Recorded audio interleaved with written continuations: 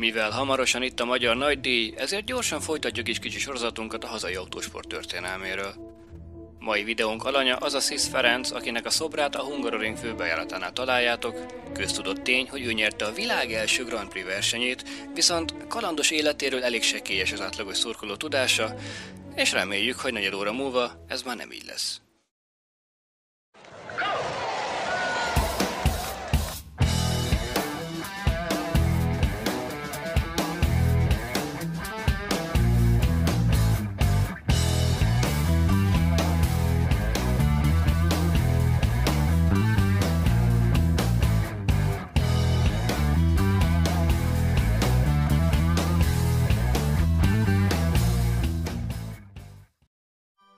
Szísz Ferenc 1873. szeptember 20-án született a Békés megyei Szeghalmon.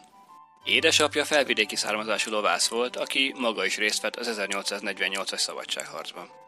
Szísz az iskolai tanulmányait Dobozon kezdte meg, ahol édesapja gazdatisztként tevékenykedett Wenkheim Frigyes uradalmában. Ferenc rézöntőnek tanult, emellett viszont fiatal korától érdekelte az ekkoriban egyre népszerűbbé váló autózás. Mikor csak ideje engedte, igyekezett az uradalomban megforduló járműveket tanulmányozni. 26 évesen Szisz útra kelt, több európai nagyváros, így például Münchent vagy Bécset is megjárva. Münchenben a Bosch cégnél helyezkedett el, az itt szerzett tapasztalat később kulcsfontosságúnak bizonyult az életében, hiszen akkoriban, ha egy automobil a korhoz mérte stabilan kellett, hogy működjön, két dolog kellett, a strapabíró felfüggesztés és a motor egyenletes és stabil járása. Párizs előtt még Lotaringiát is megjárt, ahol megismerkedett Elizabeth Dornal, aki később a felesége lett. A magyar rézöntő végül hosszas kalandozás után 1901-ben érkezett meg Párizsba, amely karrierje legfontosabb állomásának bizonyult. A fények városában ugyanis találkozott az ekkoriban még csak szárnyaikat bontogató Renault testvérekkel. A fivérek eredendően pósztókereskedéssel foglalkoztak, ám ez egyáltalán nem érdekelte se Louis, se Marcelt. Első autójuk 1889-ben épült a családi ház hátsó kertjében, amit ekkor még dögyön motor hajtott. Ők a vázat és az azt fedő karosszériát tervezték. Volt egy harmadik testvérük is, Fernand, aki gyenge egészségi állapota miatt nagyon fiatalon 1909-ben májbajban elhunyt. Szisz először egy Esztergogép gyártó cégnél kapott munkát Párizsban, és innen került a francia autógyártóhoz, amikor az ilyen gépeket vásárolt. Az Esztergák beüzemeléséért Szisz volt a felelős, aki igen szimpatikusnak bizonyult a Renault fivérek számára, és át is csábították őt a vállalatokhoz.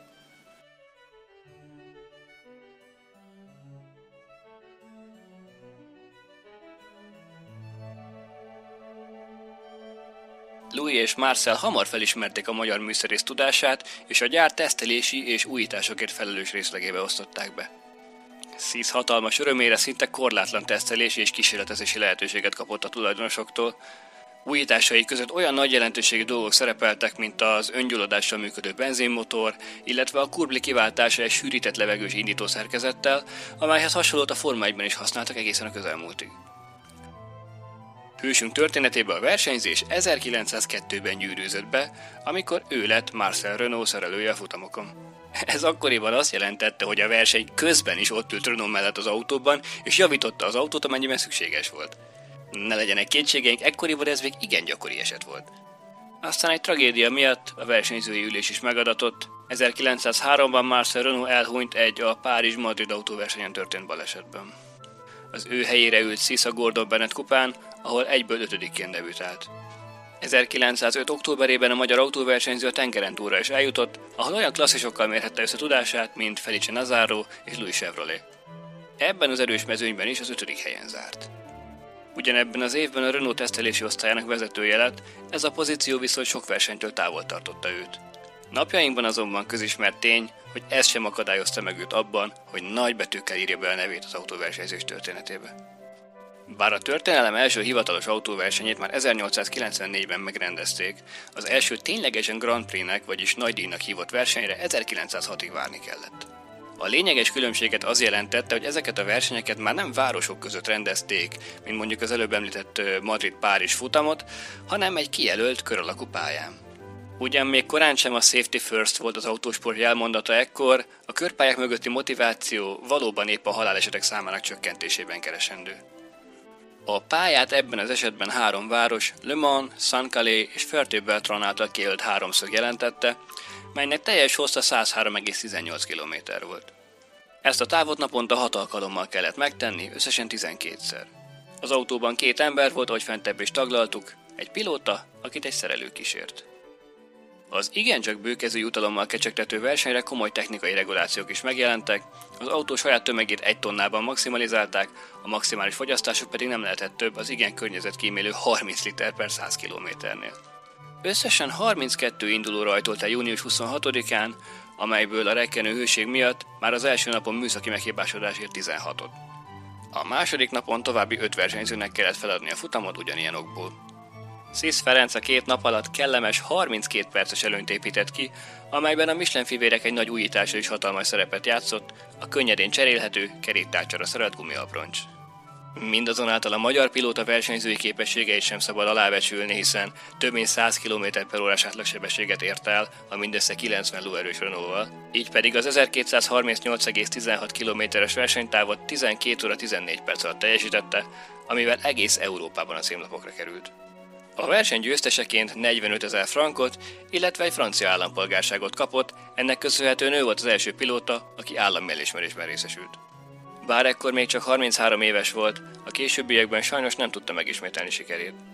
Hogy ez így alakult, abban a technika ördöge is közrejátszott, mind az 1908-as francia nagydíjat, mind pedig az ugyanebben az évben rendezett Szavadnai Grand Prix-t műszaki hiba miatt volt kénytelen feladni.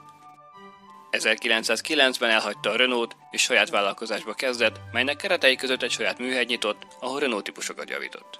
1914. júliusában még egyszer rajthoz állt a francia nagydíjon, azonban egy sérülés miatt ismét idejekorán fel kellett azt adnia.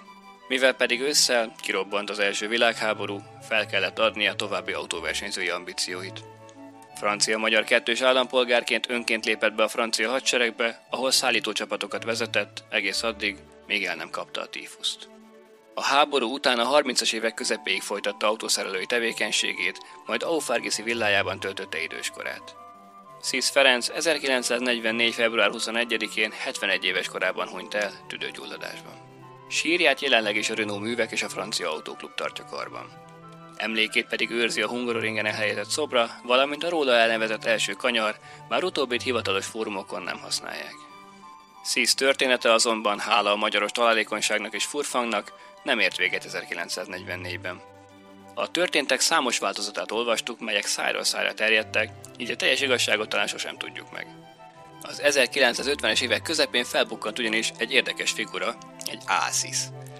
Tisza Szent Imrén ugyanis élt egy iszákos, tanulatlan, de annál meggyőzőbben hazudni képes Szisz Ferenc nevű csősz.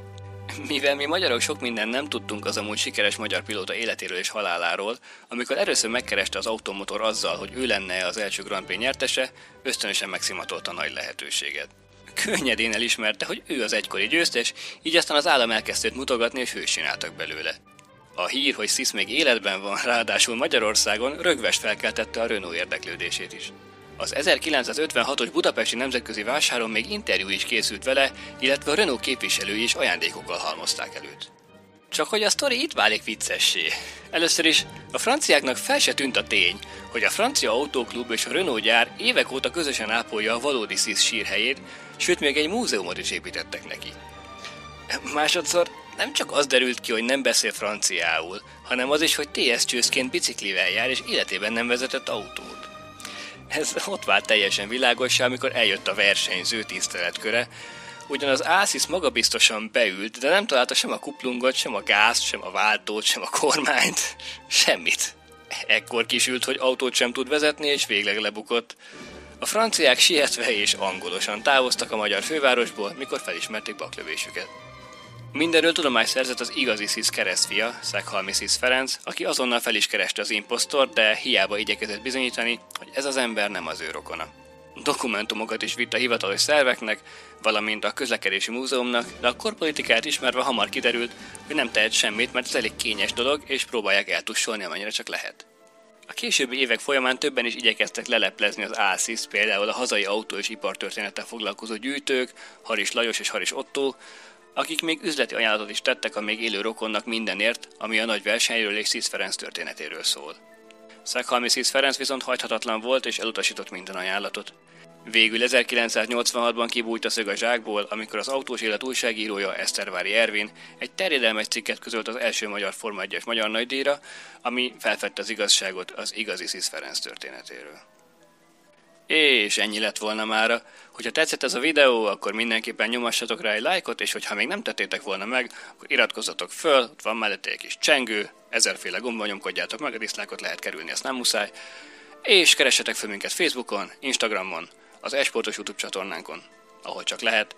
Ha pedig nagyon-nagyon tetszett a tartalom, és úgy gondoljátok, hogy megérdemeljük, akkor dobjatok meg minket havonta egy sörárával, vagy egy kicsit többel. Itt láthatjátok a patronjainkat, akiknek nagyon szépen köszönjük már a támogatást. Peti voltam mára. Sziasztok!